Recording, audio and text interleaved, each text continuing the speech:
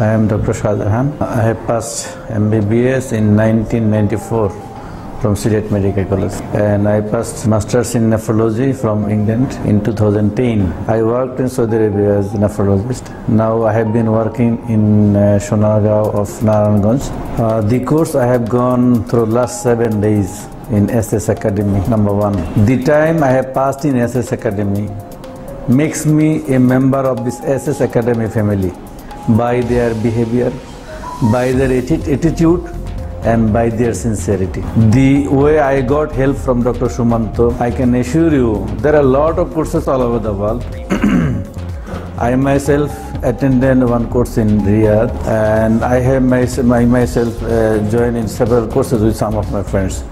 But what I found here in Bangladesh in this SS Academy is really unparalleled and it's full of tips and tricks. And I say in this uh, nice occasion that I am sure Inshallah, one day Dr. Shumanta Shah will be the best teacher for MRCP in all over the world.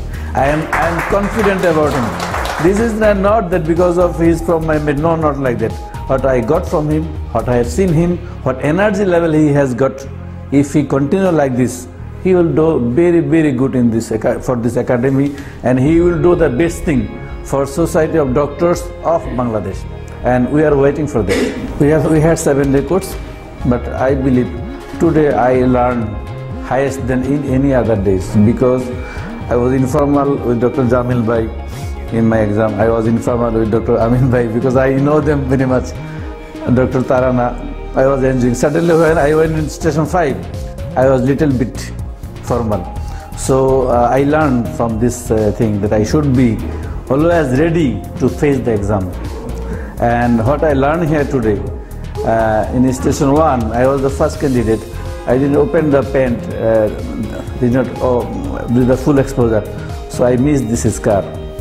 So this is my one learning. Another learning with this uh, neurology patient, did not look for the back. And another two learning for um, station 5, we should be very much careful and keep our brain and eyes open during the exam. We should not take anything easily. So at least during the exam time, we should be very much sincere and we should be very much attentive for the exam. This is my learning for, for, for today. I hope this will help me much more than uh, any other thing. So considering all these things, this seven day course was excellent and it was very much effective for the MRCB student. And I, I should say all the doctors who wants to sit for MRCB part 1, part 2 and PASIS, they should at least once comes to see SS Academy. They should at least one come to see Dr. Sumanto Shaha. Everybody, mashallah, they are so much cooperative and friendly. You know, there is a hadith, Rasul said, if you don't travel with people at least three days, you cannot make comment with them. We travel with these people for seven days, and I am commenting these people are very nice in their knowledge, education, quality, and quantity. Thank you very much.